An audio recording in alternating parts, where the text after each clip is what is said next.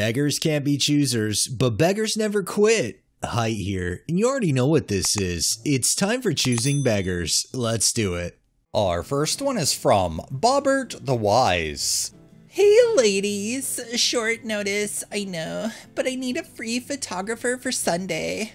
My fave photographer is unavailable. I'm riding in a tethered hot air balloon. Bucket list! I have a brain injury and never thought I'd be able to. I'm gonna cry. Blank and blank. There's also a super duper special jujitsu seminar prior in here. I'd like to be able to go to take pics sports photographers preferred because you know the angles and what's going on. I'm broke financially, and you might have to pay for the seminar and a hot air balloon ticket, $100 total. But two things are getting checked off my bucket list Sunday, and I want to capture it on film. Might make it in a book someday. PM me for more details. Pick up the dress I'm gonna wear on the balloon. It's bad enough asking for a free photographer, but then when you want that photographer to also pay to work for you for free, I, I don't think you're gonna find one. This next one is by Lord Lyrad. Does anyone have a car they're willing to give away that they're not using? Doesn't have to be good. Automatic would be preferred and anything less than 40,000 miles. Has to be 2013 or newer. Thanks! One could argue it doesn't hurt to ask, but when you have these specifications, don't expect to receive. This next one is from a girl named Ronnie. Hi there! Just wanted to give you a heads up that tomorrow is my birthday and I'm so excited to celebrate. I would absolutely love it if you could surprise me with an amazing gift to make my day even more special. Your thoughtfulness means the world to me, and I can't wait to see what you come up with.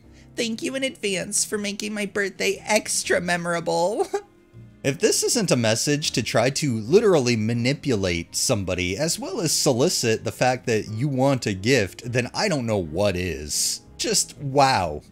This next one is by The Amazing Luke. Hey, I was just wondering if you do fitness plans. My buddy Arton recommended you and just said that you really helped him out. I sure am. It was a pleasure working with Arden. How's he doing now?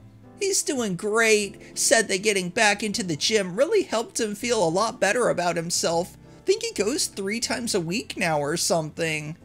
Good to hear he's still sticking to the plan anyway. Tell him I said hi. So what kind of help are you looking for? I'm just kind of looking to lose a bit of weight for a wedding I'm going to in September.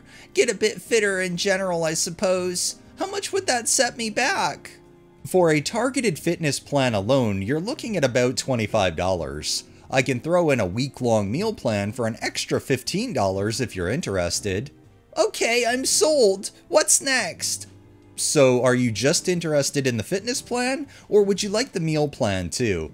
Meal plan.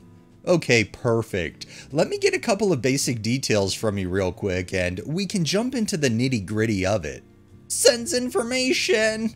Okay, perfect. I think I've got enough info now. I'll let you know when I've got your plan finished. Should be a few days or so. Hey, so your fitness plan is done now. Do you have an email I can send it to? Sure, man, it's beggarskeepbegging at gmail.com. Okay, perfect. I've sent you the file now. What's the password? Your payment still hasn't come through. I'll send it once it arrives in my account. Yeah, look, man, I'm a bit behind on my car payments, so it might be a while before I'm able to get the money to you. Like, give me two weeks and I should be good. Okay, man, that's all good, no worries. There's no rush. I mean, for me, it kinda is a rush because the wedding is in like seven weeks, and I need to start working out and cutting weight as soon as possible. I really appreciate what you've done for me on such short notice. Would you be able to send me the password while I work on getting the money together? I'm sorry, but that's not how I operate. I've had people stiff me in the past, so I don't do credit. Look, man, would you just be able to send the password? This wedding really means a lot to me. I'm going to be seeing friends I haven't seen in years and I really have to look good. I'm sorry, but I don't give credit. I have no way of knowing whether you'd pay me or not. I would have also preferred to know about this before starting on your plan. I put a lot of time into this. I mean, I have no way of knowing whether the plan I'm paying for is actually good or not, so you can at least send me the password for the meal plan so I can know you're legit. With all due respect, you were the one who told me how impressed you were by the quality of the plan I did for your friend. I won't give you any of the passwords until you send me the payment for the fitness plan I put my hard work and effort into. Listen, man, I'm a patient guy, but you've really pushed me over the edge this time. You'd do a lot more business if you actually treated your customers with an ounce of respect, instead of being a power-tripping freak who values his ego more than the health of his customers. I'm finished with you! I don't really think one can qualify as a customer just because they had a service performed but failed to pay for that service. It seems at that point, it makes one a leech. This next one is from Ukulele Rap Boy.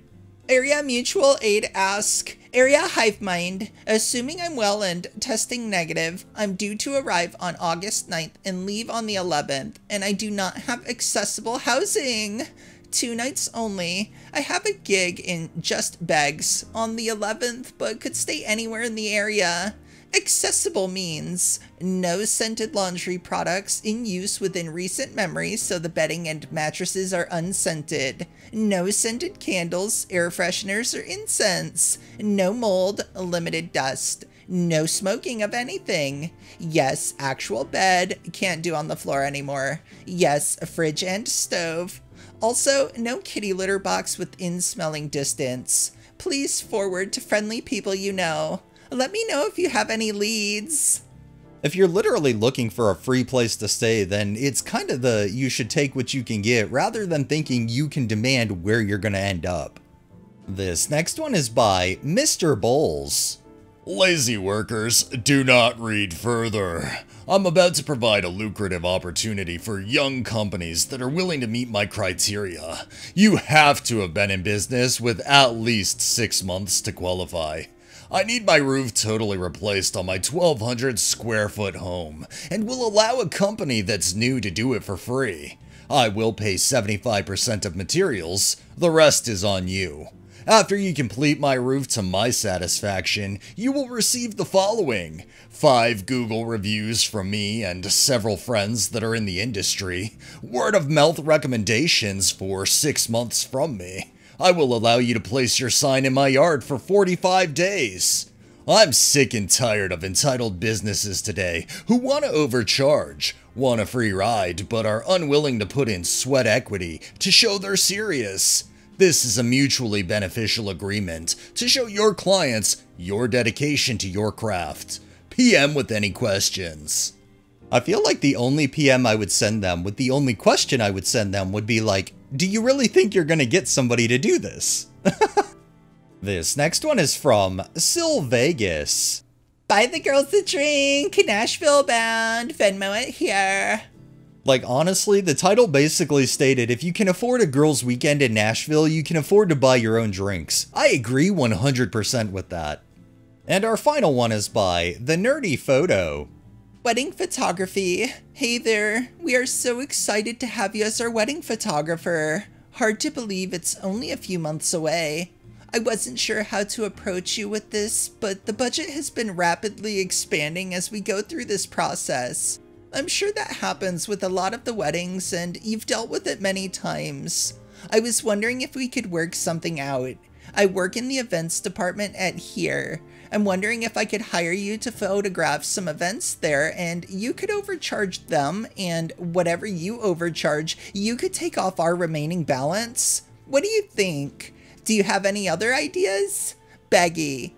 When you do things on your own, photography, whatever, any kind of self-employment, you want repeat business. You definitely don't want repeat business from beggars though, especially ones that want you to overcharge other people just to give them a discount.